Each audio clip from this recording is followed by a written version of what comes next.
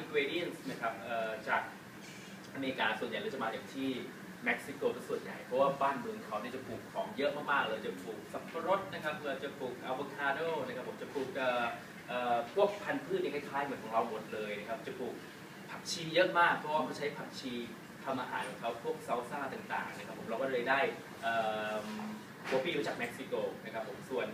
heart palm นะครับก็คือยอดมะพร้าวอ่อนเนี่ยผมได้มาจากที่ฮาวาย ราะแต่ละที่แต่ละที่ก็จะมีซอสไม่เหมือนกันนะครับ ส่วนใหญ่แล้วอินกรเดียนต่างๆเนี่ยก็จะได้มาจากที่ฟลอริดาเพราะว่าเอ่อ climate นะครับอากาศของเขาเนี่ยเอ่อจะคล้ายๆบ้านเราตอนช่วงหน้าร้อนนะครับผมแล้วก็จะแบบอากาศเหมือนกับเอ่อเอ่อมีทั้งฝนตกมีทั้งเอ่อหนาวเอ่อร้อนด้วยนะครับผมเอ่อเราก็จะได้พวกเคิร์ฟต่างๆมาจากที่อืมทางฟลอริดานะครับผม แล้วก็ทางแคลิฟอร์เนียเองก็เช่นเดียวกันนะครับ ก็มีคลาเมตของเขาประมาณ 8-9 เดือนในะครับที่เป็นอากาศดี ส่วนประมาณ3เอ่อ4เดือนนะครับผมถึง3เดือนนี้อากาศก็จะหนาวนะฮะ เพราะฉะนั้นเราก็จะมีแบบของซอสมาหมดเลยนะครับจากที่เอ่ออเมริกานะครับผมเอ่อ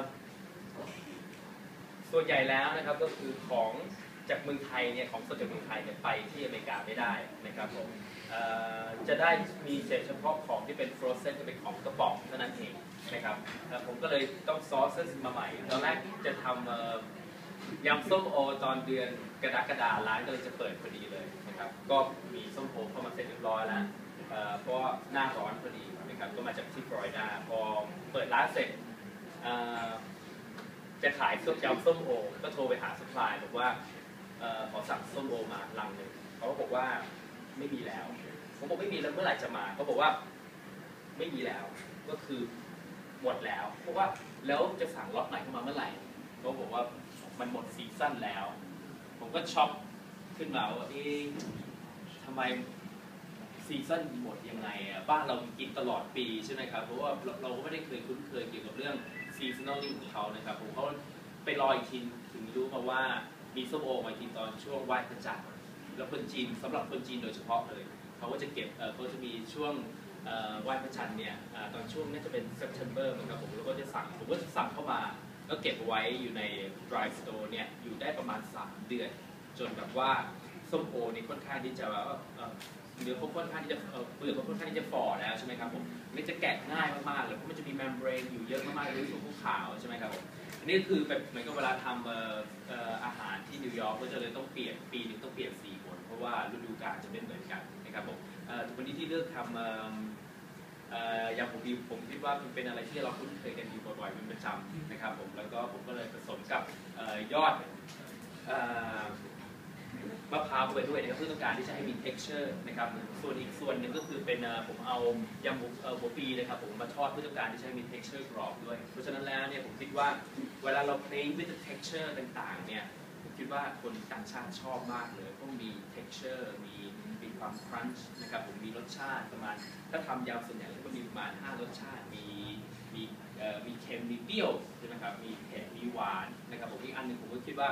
อยากจะใส่พวก herbs ต่างๆเข้าไปเพื่อต้องการที่จะให้ได้5 flavor นะครับผมเเดี๋ยวเรามาเริ่มของกันเลยก็แล้วกันนะครับผมมีกว่าปีนะครับที่หั่นไปเสร็จเรียบร้อยแล้วนะครับผมแล้วก็ทุกครั้งเลยเ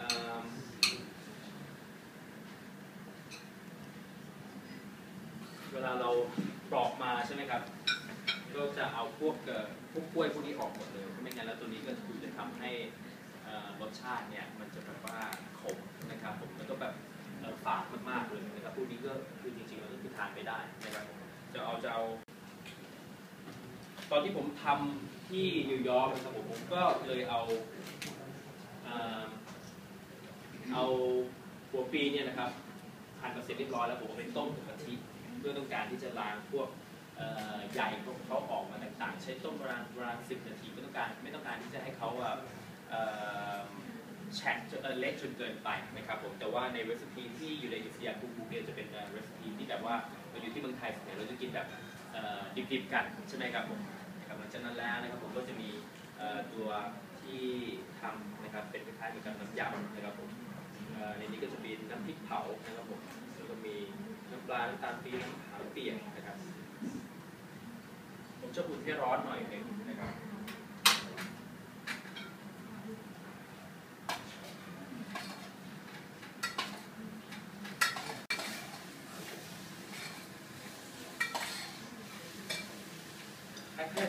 เองผมว่าเวลาทานแบบว่าคุณๆหน่อยหนึ่งแล้วเนี่ยรู้สึกว่ารสชาติเนี่ยมันจะออกมาเยอะมากกว่านะครับ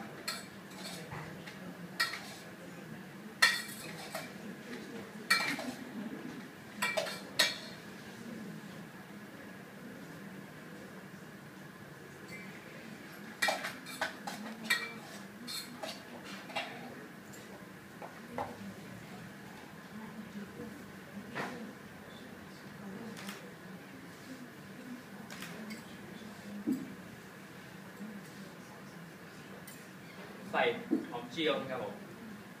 เท้าพั่วพริกดเล็กน้อยนะครับ แล้วก็ใส่ถั่ว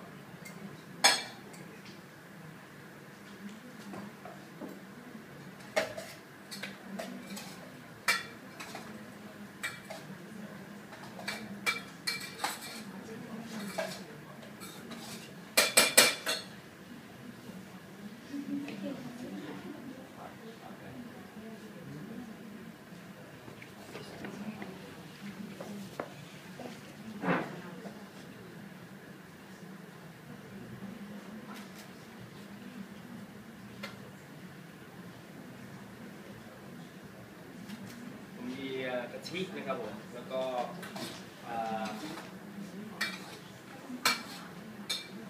ขมิ้น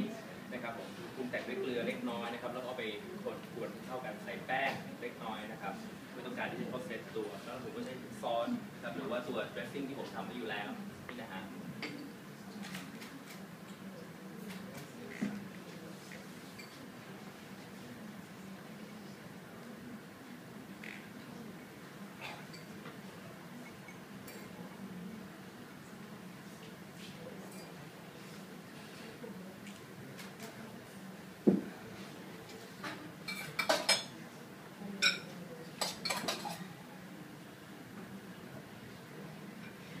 หนังสือของวิทยาคุกบุ๊กนะครับ ส่วนใหญ่แล้วจะเป็นการ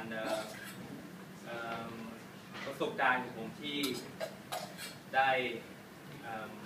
ไปทำงานที่ต่างประเทศนะครับผมบางทีบางคนที่มาทานที่ร้านเราเนี่ยส่วนใหญ่แล้วก็เขารู้จักอาหารไทยบ้าง แต่ที่อเมริกาเนี่ยอาจจะน้อยหน่อยหนึ่งนะครับผมส่วนใหญ่ก็จะรู้จักแค่ ผัดไทยอย่างเดียวนั่นเองนะครับผมแต่ตอนนี้เนี่ยเขาเออผมคิดว่าทั่วโลกเนี่ยรู้จักอาหารไทยเยอะขึ้นแล้วนะครับผมเพราะฉะนั้นแล้วบางทีเนี่ยทำอาหารผมคิดว่า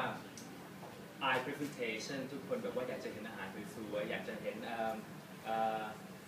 อาหารดีๆนะครับออกไปแล้วก็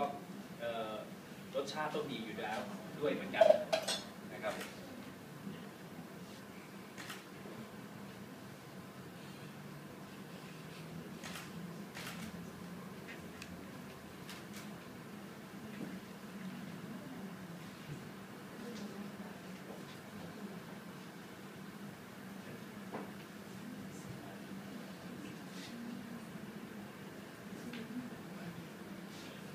นี้ก็จะเป็น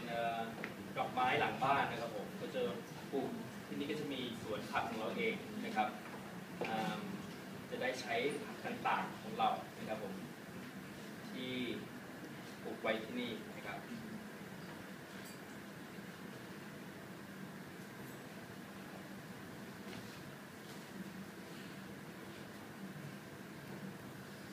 นี้ก็เป็นยำของปีของผมเสร็จเรียบร้อย